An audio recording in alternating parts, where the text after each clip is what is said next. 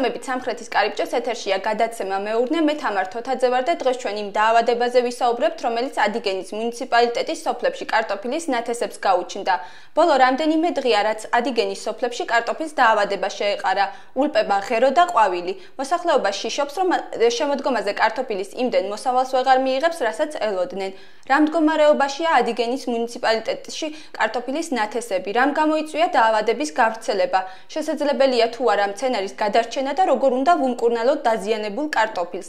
ამ თემაზე სასაუბროთ დღეს ჩვენ სტუმრად მოვიწვიეთ ადიგენის მუნიციპალიტეტის სოფლის მეურნეობის საინფორმაციო საკონსულტაციო სამსახურის უფროსი თამაზ ქველაძე და სოფელ ბოლაჯურის მკვიდრი გიორგი ქიმაძე, რომელიც ერთ-ერთია მათ შორის, ვისაც კარტოფილის ნათესები დაუზიანდა. დიდი მადლობა ბატონებო სტუდიაში მოგზანებისთვის. აა ვიდრე საუბარს დავიწყებ და ჩვენ შეგვიძლია ვნახოთ სიუჟეტი, რომელიც ჩვენმა ჟურნალისტმა თინათინ ზაზაძემ ამ თემაზე მოამზადა. ახალციხის ფსიქო ფიზიკური სარეაბილიტაციო ცენტრი გთავაზობ ფიტნეს მომსახურება აერობიკა ხერხემლის და სახსრების პათოლოგიების კლასიკური და აღმოსავლური მედიცინით მკურნალობა გვეწვიეთ ახალციხე რუსთაველის 49 აგრომაღაზიიდან გამოვიწერეთ და ამბობენ რომ იმ დაავადება ეს დაავადება იმ კარტოფილებს შემოყვა. და შარშან ახალქალაქი ახალციხეში იყო მოდებული და წეს ჩვენთანაც წამოვიდა იმ კარტოფილისგან ნიადაგი დაზიანდა. ადიგენის სოფლებში შესაძლოა მთავარი მარჩენალი პროდუქტის კარტოფილის გარეშე დარჩნენ. მცენარეს დაავადება შეეყარა, ულპება ღერო და ყვავილი. ადგილობრივების ნაწილი ეჭობს რომ დაავადება ახალ ჯიშებს შემოხვა. მე რაც მოვისმინე და ვნახე წამალი არაფერს არ შვებო რა. ვისაც მე ველაპარაკე, წამალი ამ დაავადებას არ კუნავს. ხალხს გამოტანილია კრედიტებით არიან საცოდავ დღეში და რა ვიცი, თელსოფელი, თელისოფლის კარტოფილი ასეა. ერთ სუტკაში მოედო უკვე თელ ფართობს, იმიტომ რომ აერით გადადის ჩაოლებრივად რა. დაჟე იმაზეც იყო საუბარი, ყარაში აქ ნაკვეთში როცა სადაც გაივლი და სადაც ეს დაავადებაა, მეორე ნაკვეთში თუ გადადიხარ იგივე დასაცმლი და იგივე სიტუაციით გადადის ჩაოლებრივად მოყოლ. ბოლაჯურში მცხოვრებმა სარიშვილებმა კარტოფილის თესლის შესაძენად ცესხი აიღეს. მათი ნაკვეთის ფართობი 2 ჰექტარია. კულტურის ამ დრომდე მოსაყვანად გაწეული ხარჯი უკვე ცდება რამდენიმე ათას ლარს. სარიშვილებს დაავადების განსაკუთრებით ეშინიათ. ამბობენ, რომ ნათესი დღითი დღე ავადდება და მკურნალობის დაგვიანების შემთხვევაში მოსავლის გარეშე დარჩებიან. ამიტომ დაავადების დასადგენად სპეციალისტების დროულ დახმარებას ითხოვენ. უნდა გამოიკვლიოს მოგწონ გლეხს არ გვინდა ხო ნუბაჩუქებენ გვითხრან რომ აუცილებლად ეს და ეს წამალი ამას უშველის რომ შემდეგ წავიდე შესაბამისად ვიყიდო ის წამალი რომ დარწმუნებული ვიყო იმაში რომ ის უშველის იმას და შევწამლო იმით. სოფლის მეურნეობის სპეციალისტებს გლეხები შიში გადაჭარბებულად ეჩვენებათ ამბობენ რომ ნათესები დაათვალიერეს. კარტოფის სოკოვანი დაავადება ფიტოპტორა აქვს და დროული შეწამლის შემთხვევაში მცენარე გადარჩება. ჩვენი ინფორმაციით ეს არის ფიტოპტორა დაავადება სოკოვანი დაავადება. გავეცით შესაბამისი რეკომენდაციები და მოსახლეობამ ძალიან აქტიურად დაიწყო პრევენციული ღონისძიების გატარება დაავადების წინააღმდეგ. სოფლის მეურნეობის სპეციალისტების შეფასებით დაავადება ხშირ მაწვიმებმა გამოიწვია. ისინი ამბობენ, რომ ფიტოპტორა ახალი დაავადება არ არის, თუმცა გადამდებია. აგროკონსულტანტები ფერმერებს ნათესების დროულ შეწამლას ურჩევენ.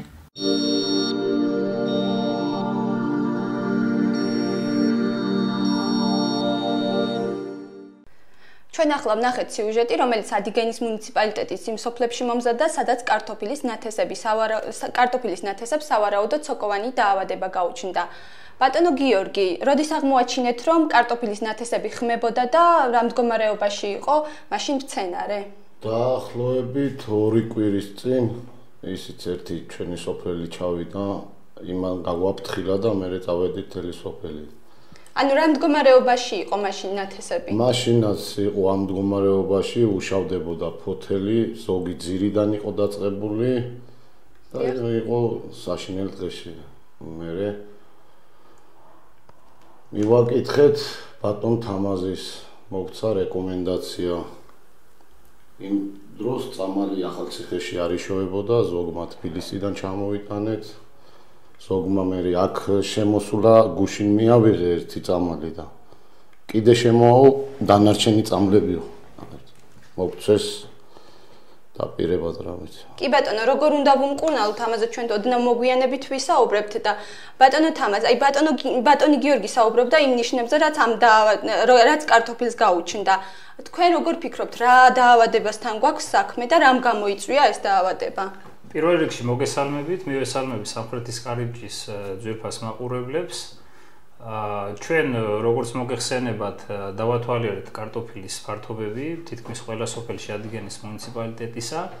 წინასწარი დათვალიერებით და ზოგადად დაავადების სინდრომების დაკვირვების ფენოლოგიური დაკვირვების შედეგად ჩვენ ვფიქრობთ, რომ ეს არის არა ახალი დაავადება, თითქმის რაც კი კარტოფილის კულტურა არსებობს, ეს დაავადებაც არსებობს, ეს არის სოკოვანი დაავადება, ფიტოფტორა. დიახ.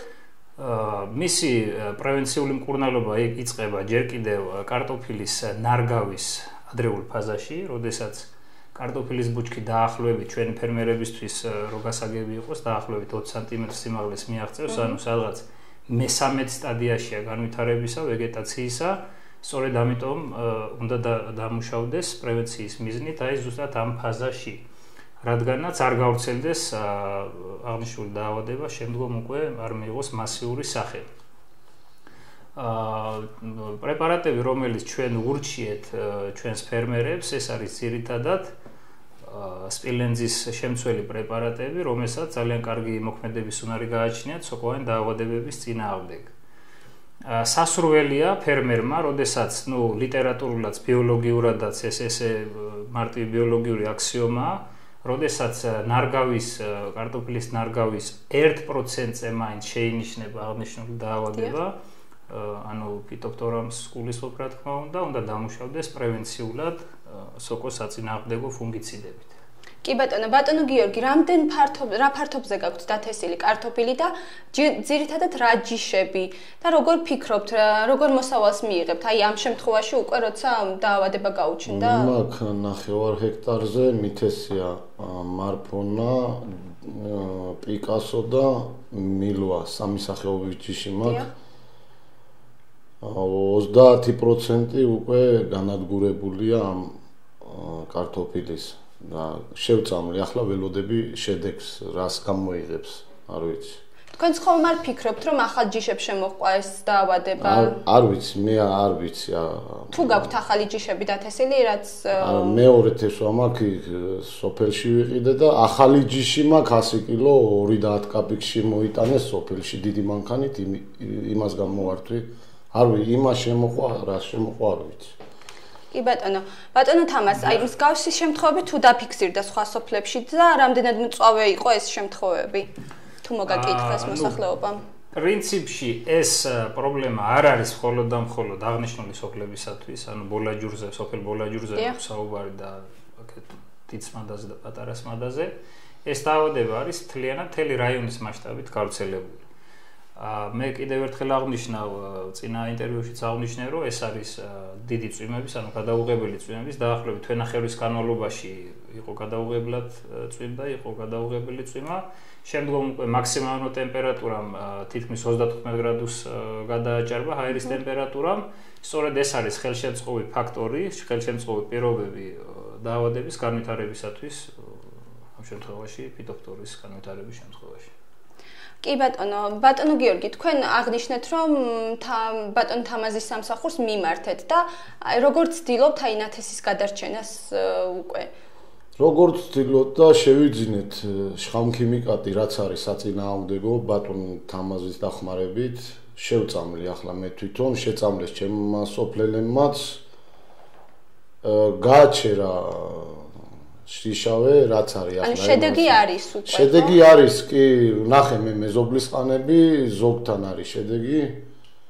ზოგთან კი არა, ყველასთან არის შედეგი. ვინც რა შეწამლა, ოღონ არ ვიცი რა წამლით. დიახ. ანუ ზოგის ნათესი ნახევარია გაფუჭებული რა, სანამ შევწამლავდით და მივხვდებოდით, ნახევარი ზოგის გაფუჭებულია კი. ზოგის 30%, ზოგის 40, ზოგის 20 ვერ გაიგებ. ბატონო თამაზ, როგორ გადადის ეს დაავადება მცენარიდან მცენარეებზე და ხომ არ არსებობს საშიშროება, რომ სხვა ასოფლებშიც გავრცელდეს? აა, მოდით კარგად ახსნათ ჩვენი ძვირფასი ფერმერებისათვის, რა თქმა უნდა, ეს გადაცემა ალბათ ეძღვნება ფერმერებს და არა მარტო. აა დაახლოებით მილიონობით სახეობის სხვადასხვა სოკო ბაქტერია და პათოგენი არის აერში გაბნეული. ჩვეულებრივ იმ აერში, რომელსაც ჩვენ ყოველდღიურად იმ არეში, რომელშიც ყოველდღიურად ჩვენ გვიწევს ცხოვრება და გვიწევს, რა თქმა უნდა, სუნთქვა და არსებობა.